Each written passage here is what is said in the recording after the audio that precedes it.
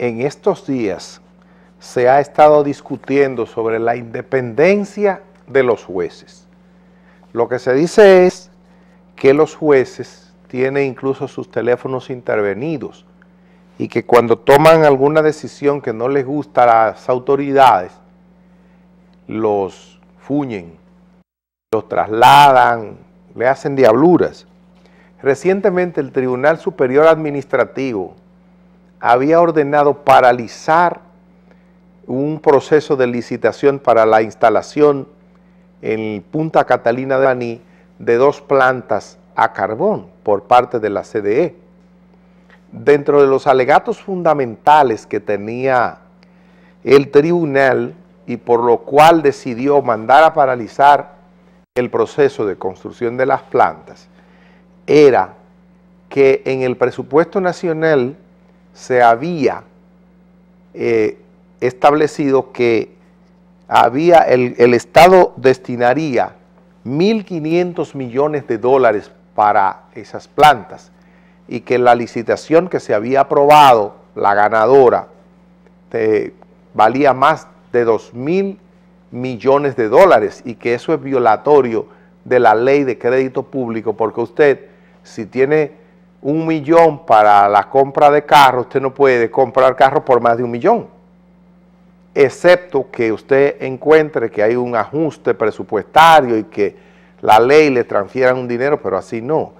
Entonces ayer el tribunal, el mismo tribunal, pero no con las mismas personas, que había ordenado la medida cautelar contra la construcción de las plantas, ese mismo tribunal ordenó que sí, que, se, que le den para allá. Y lo grande es que no menciona siquiera el asunto del presupuesto.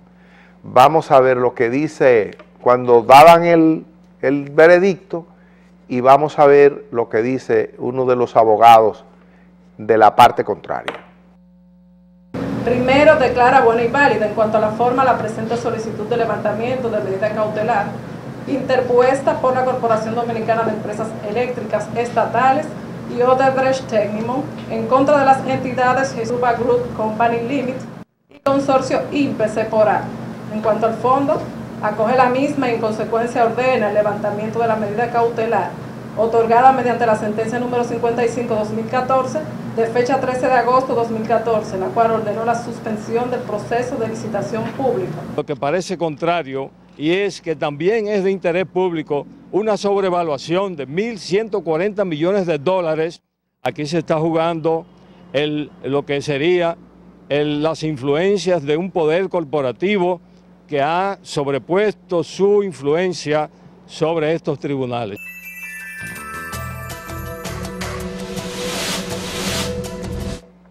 No hay dudas de que ha habido presiones sobre ese tribunal, a tal punto de que el gobierno comenzó a decir que había un plan para, eh, para torpedear lo de las plantas a carbón.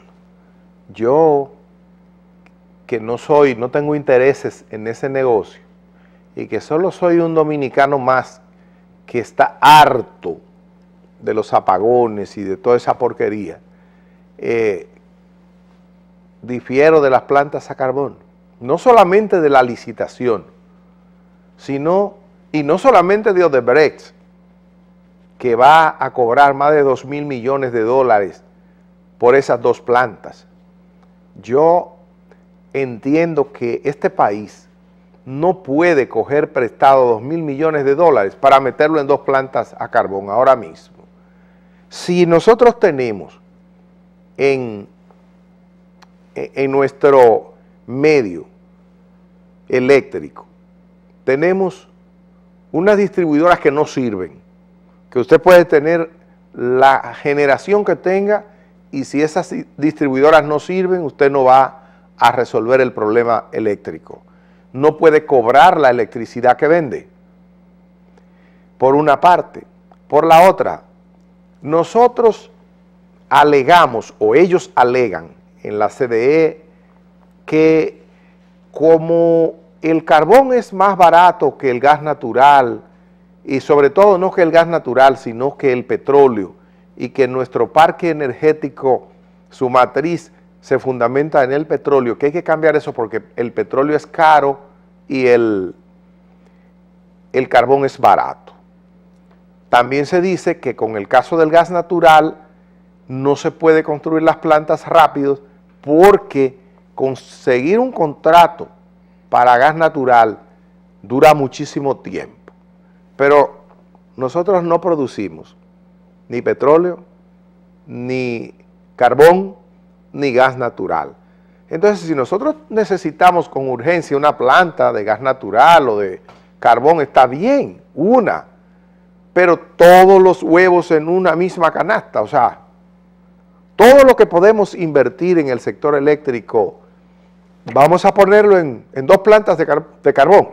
Vamos a dejar la, la situación de las distribuidoras como están, que no sirven para nada, que son un tollo. Vamos, tenemos como 10 proyectos identificados debidamente por el INDRI, donde se pueden hacer presas hidroeléctricas, que vamos a, a decir que no se puedan hacer las 10, pero vamos a hacer uno. Vamos a dividir las cosas. Un proyecto hidroeléctrico le permite generar electricidad, le permite eh, agua para acueducto, le permite también regar la tierra, que aquí hay millones de tareas que no producen por falta de agua, y también fomentar la crianza de peces en un país desnutrido. Entonces vamos a hacer una cosa seria, seria, para que invirtamos lo que vamos a invertir en un paquete. Si yo tengo un problema en la distribución de la electricidad y un problema en la producción de la electricidad, yo no puedo resolver el problema de la producción de electricidad y dejar igualito el de la distribución, porque ¿para qué la electricidad? Para distribuirla, yo tengo que mejorar una cosa y la otra, pero no, es una cuestión irresponsable de buscar a Odebrecht para que coja 2 mil millones de dólares que este país va a buscar prestado y para que haga dos plantas carbón, a la mala. Y obligaron al tribunal, lo obligaron al tribunal a echarse para atrás. Y esa es la independencia del Poder Judicial aquí. Vamos a la pausa.